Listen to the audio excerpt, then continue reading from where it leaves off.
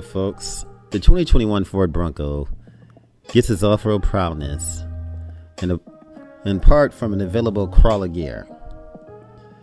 But why is the feature such a big deal? And how does it work?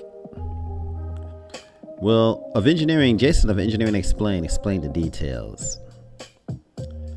Denoted by a C on the Bronco manual transmission shift pattern, the crawler gear is a first gear with an even higher ratio. Fenske said, in the Bronco, the crawler gear has a ratio of 6,588 to 1 compared to 4,283 to 1. The first gear that allows for more wheel torque, albeit with a lower top speed, they don't call it a crawler gear for nothing. Now, as with any four wheel drive vehicle, that effect is amplified by the gearing of driveline components.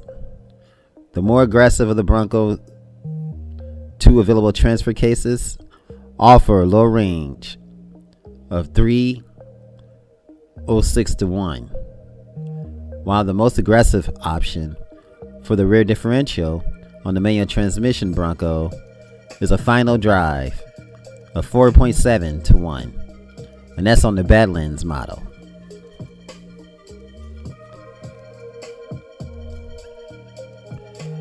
Now, all of that gearing makes the wheels rotate slower compared to the engine. With the crawler gear and the low range engage, the engine rotates at about 35 times for every one turn of the wheel. Now, Fenske said that compares to 20 engine rotations per tire rotation. In first gear, in high range of 3 engine rotations per tire rotation, in 6th gear, and in high range. However, these gear ratios also create torque multiplication. Their larger radius reduces the speed that the drive shaft and the axles. Now they're connected to spin, but it also adds more leverage, which effectively increases the amount of torque that sends to the wheels. This turns the Bronco 2.3 liter turbo 4 310 pound feet of torque into 29,372 pound feet at the wheel. Now, according to Fenske, however, he said Ford likely won't allow for peak engine torque with a crawler gear because it would overwhelm the tire grip. The crawler gear isn't about sheer torque, it's about precise control at low speeds. Fenske said the driver can keep speed slow and manageable while driving over rough terrain without stalling the engine.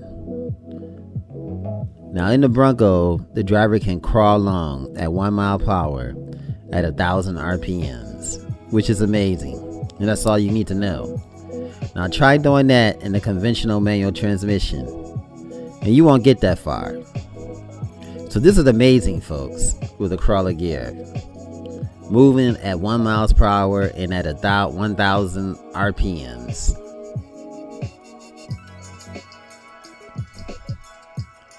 That is just amazing. And let's get into more um, about this crawler gear.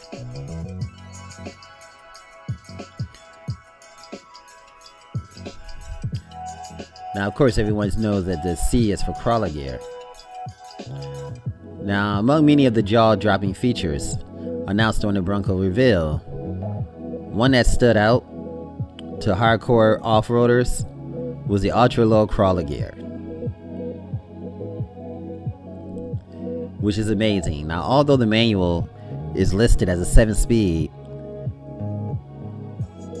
it is different than what you may think. Typically, the higher gears on the manual transmission are for lower cruising speeds, RPMs, uh, the greater top speed and better fuel economy. So how does the benefit how does this benefit the Bronco in an off-road situation?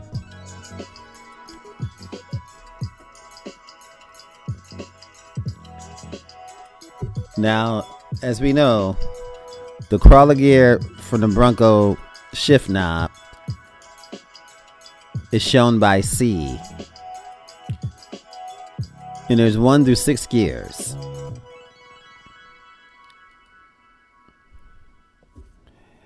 It's a more of a six speed plus crawler gear than an actual seven speed manual. The C acts as an ultra low first gear. Now let's get technical again. A crawl ratio of 94.7 to 1 means for every 94.7 engine rotation, your wheel rotates once. For comparison, the Bronco first gear has a gear of 4.2 to 1, which means for every 4.2 engine rotations, the wheel rotates once.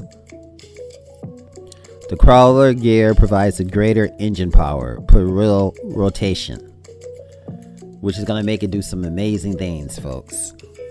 The Bronco 6.588 to 1 crawl gear ratio paired with a shorter 3.06 to 1 low gear of the two speed transfer case and the shortest 4.70 to 1 final drive ratio gives the crawler gear a 94.7 to 1.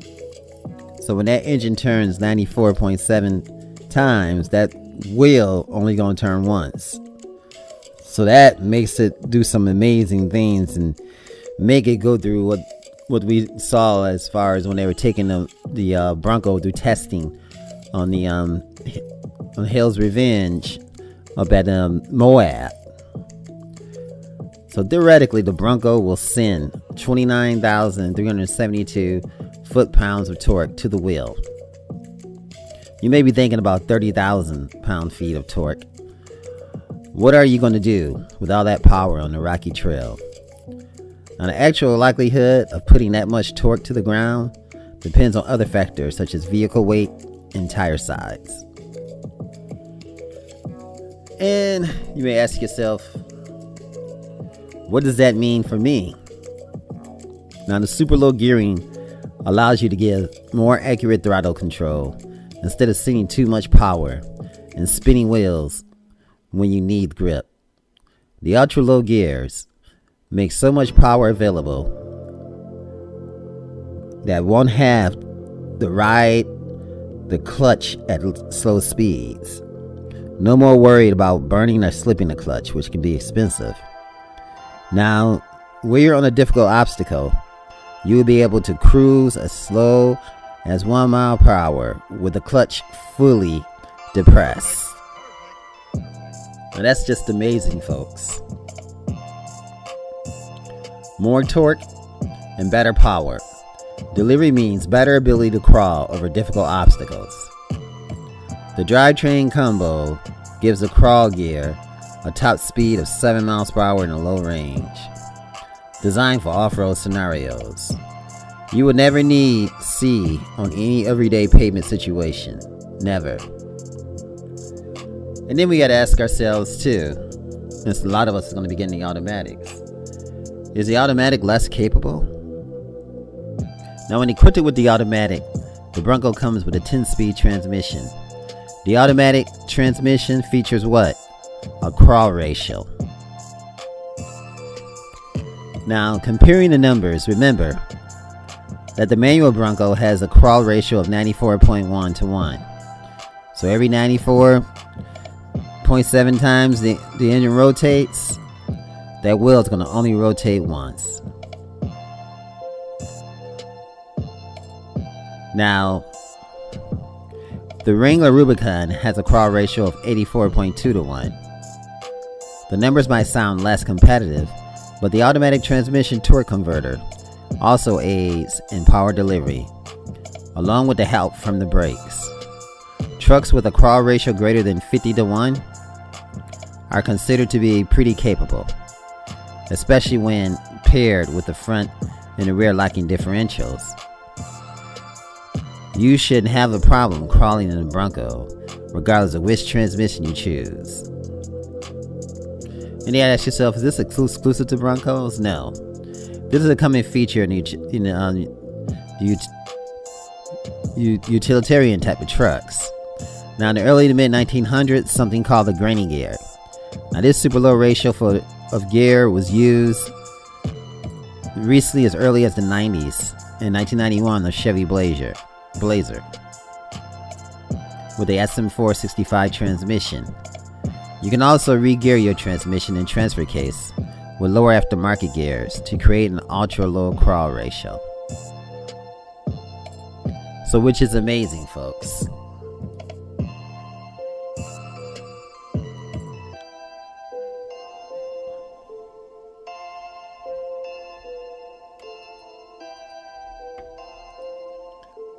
Well, I hope you guys um, understood more about this crawler gear.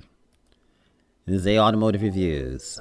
Remember, hit that subscribe button, hit that thumbs up. You guys have a fantastic day. And thanks for coming by.